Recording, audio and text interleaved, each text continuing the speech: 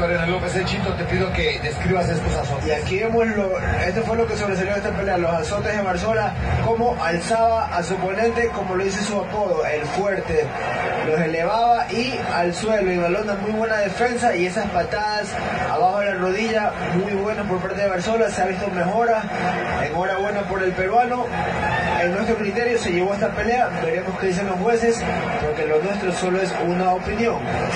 Los conocedores de quién ganó este combate. Escuchemos a Bruce Buffer. Ladies and gentlemen, after three rounds, we go to the judges' scorecards for decision. The judges score the contest 30-27, 29-28, and 29-28 for the winner by unanimous decision.